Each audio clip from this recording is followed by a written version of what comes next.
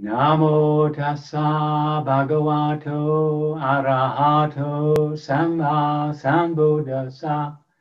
Namo tassa bhagavato arahato samma sambuddhassa.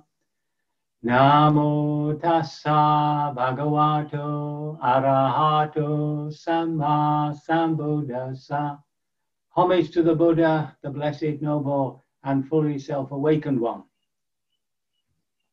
So uh, because it's uh, spring and because the next uh, moon day is celebrating the Buddha himself, I thought it would be a nice thing to do the uh, seven factors of enlightenment and the five spiritual faculties. Uh, they double over on certain ones. Uh, so what we have is saddha, which translates as confidence, and that matches with insight, with uh, wisdom. And then we have effort, which, which supports uh, concentration or focus. Uh, and then we have calmness, which twins with interest. And then finally, equanimity, which twins with, ins- with um, investigation of the Dharma or the insight. And uh, holding all that together is, of course, awareness.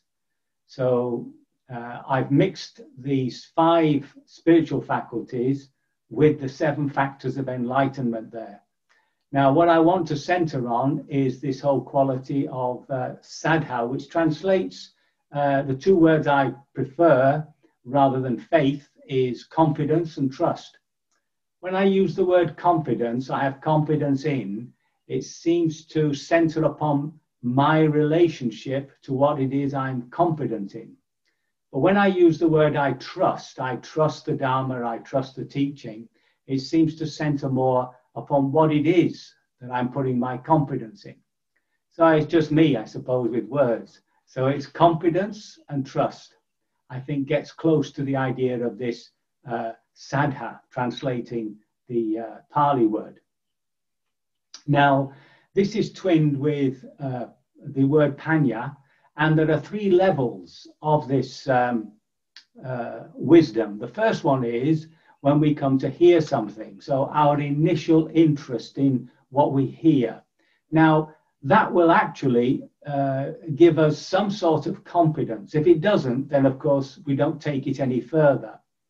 And the more confidence we have, the more we'll want to read about the Dharma and the more you do that, the more, of course, you find the opportunity to think about it, and it becomes your own bit of intellectual knowledge.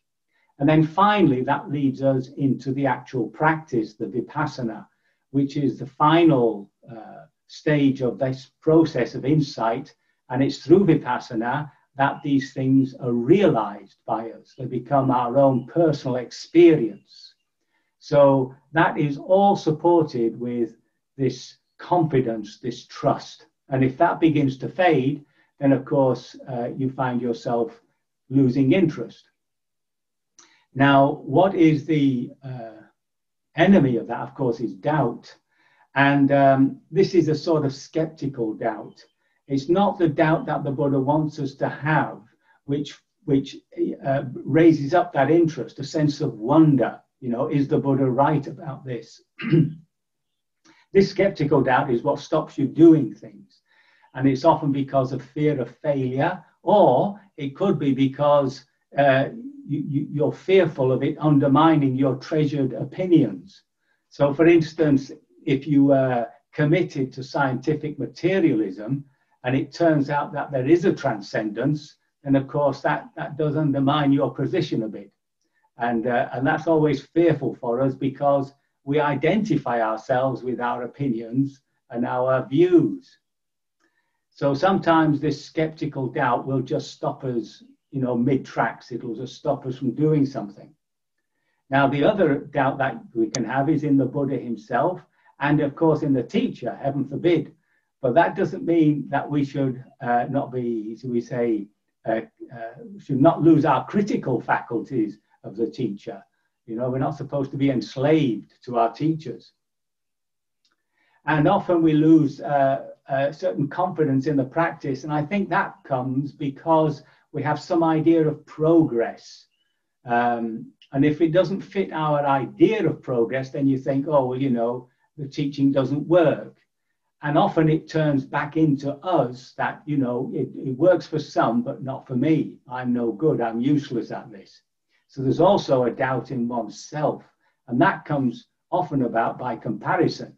You see somebody who started with you and they're fully liberated and you're still hanging around being depressed and anxious. So that, so that tends to, you tend to think, well, I can't do it. Everybody else can, but I can't. So these types of doubts have to be undermined by, you know, recognizing the wrong view, the wrong reason as to why doubt has arisen. And of course, that doubt will be completely undermined by really through the practice. And no matter how little the insight is, that insight is supporting our confidence.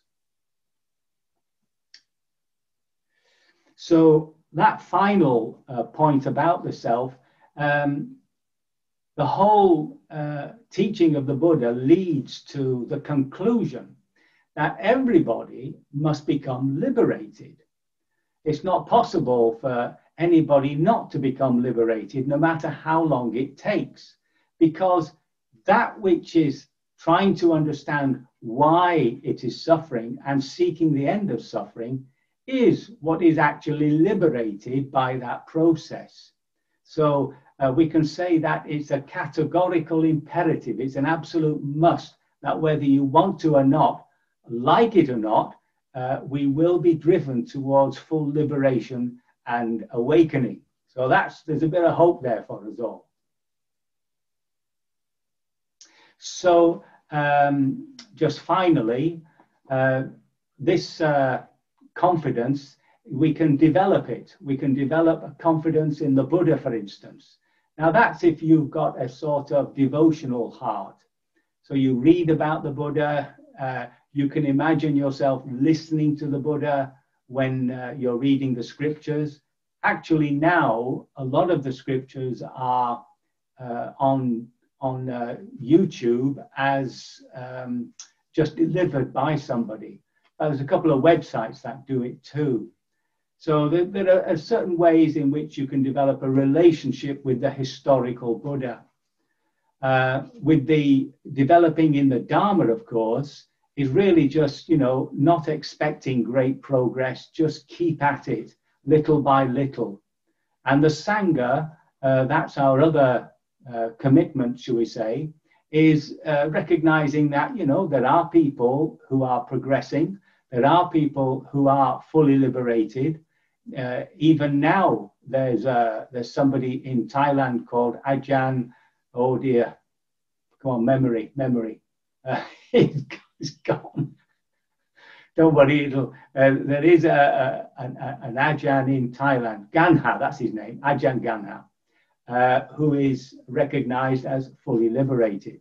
And he is a nephew of Ajahn Chah, for those of you who know Ajahn Chah. So uh, I can only hope my words have been of some assistance, that they have not caused even greater confusion, and that by your commitment to the practice, you will be liberated from all suffering sooner rather than later.